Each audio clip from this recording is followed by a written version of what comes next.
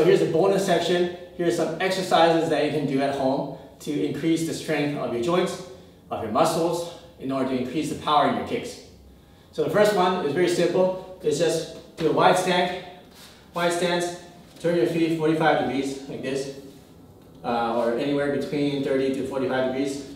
I would say something like that. Okay, a little bit wide, your shoulder apart, and then just slowly drop down, and then slowly get up. It looks very simple, but the key is you want to keep your back open while you do it. What I mean by that is how you don't want to do it. See on my back?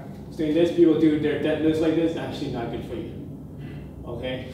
It's good for going straight up, but not that great for martial arts. Okay? So open up your back, lower your tailbone. Okay? And then come up here. See, it's still open.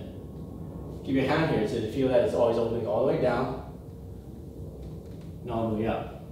Okay? The slower you do it, the harder it's going to be. If you need help, go against the wall and do it against the wall.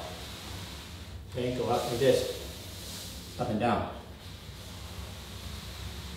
So while you're training, you're training the back muscles.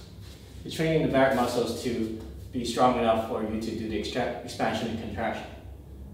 Because your back muscles actually very thick and very strong. Okay, and people do too many push-ups, I mean uh, sit-ups, and bench presses was good, but you train just the front. Actually, your back muscles are bigger than your front muscles, right? These muscles are pretty big your back. All right, so, and then once you do that, second way is now do it quickly, the jump. Okay, do that, very simple. Do the jumps, and then do it even faster. Do explosive jumping. Okay, so you can get tired just doing that. Um, do that, I would say, about 30 times as a set, and then you can do the slow one after that. Be, your legs gonna be shaking and all that. So they do slow. You know, this is a training you do with the rings, just like in guard. Put the rings on here and just put your feet like this, hands like this. Just slowly go up and down like this. Okay, looks looks easier than it is. No, it's not easy. okay, so that was train your back strength, your hip strength, your knees, and all your joints, and your leg strength too, obviously. So next exercise you can do is just pushing against the wall with your feet. So just lift up your foot, place it flat on the wall, and just, just hold it there. And see if you can put a little bit of pressure towards the wall. And then maintain this position. So you put your hands up, put your pressure against the wall, and just hold it there. Hold it for at least a minute. You can't do a minute, do at least 30 seconds.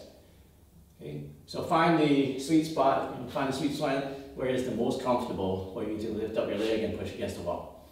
And then what's going to happen to a lot of people is they feet start sliding, sliding, sliding down like that. But just keep it up, put it back up. Okay, so if you use the wall, the same thing. I'm just going to put it up there again like this. Okay? And then just hold it there for a minute. Okay? And then try to push off this leg. The next one is to push off the leg, kind of like do little tiny, tiny pushes. Okay, it's going to be really hard on this leg, but that's the point. Right? So you do it against the wall, do little pushes, little squats, little squats. Okay? So that's a lot of work. You're working your balance, working on all those joints at the same time. So do that. You do both feet so you get good at it. And then do the next one too. The next one is to open up your hips. A lot of us don't use our hips. You're really stiff stiff hips. Okay, so to loosen up the hips, you do this exercise. Okay, so just lift up your knee and then do a circle and come back. But don't touch the ground. So lift your knee, move it out to the side and down. Your knee, move to the side and down. Right, do that like 10 times or so. Do more if you can, and then you can do the next leg. Like that. Okay? And then the other version is to go uh, out and then in. Out, then in. Try to keep your balance. Do it without touching the ground. Without this feet touching the ground. Okay, so do it slower. The slower you do it, then the better because then you practice your balance and your muscle control and coordination. Okay. Oops, I touched the ground. I'll do it nice and slow. All right. And then the advanced version is to do figure eights. okay, figure eights. Okay, and you can do the other way in figure eight.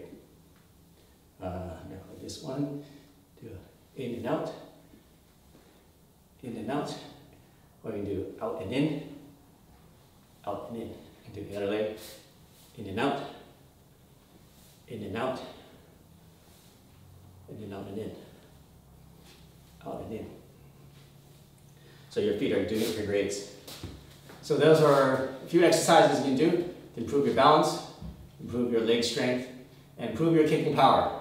So thanks for watching this video on how to kick harder. I reviewed on how to use your um, all your joints, use the compression and expansion. Secret number two is to use momentum. Secret number three is to use all your joints when you are doing your kicking. And then I showed you three or four uh, exercises that you can do at home to strengthen and to increase your balance and the power of your kicks. So I hope you enjoyed this lesson. Make sure that you subscribe to this channel and uh, click the notification bell so you get all the latest lessons from me, David Wong. And make sure you like and share and comment in this comment section. Tell me what you think about this lesson and tell me what else you'd like to learn. So we'll see you soon. I'm David Wong. Have a good one.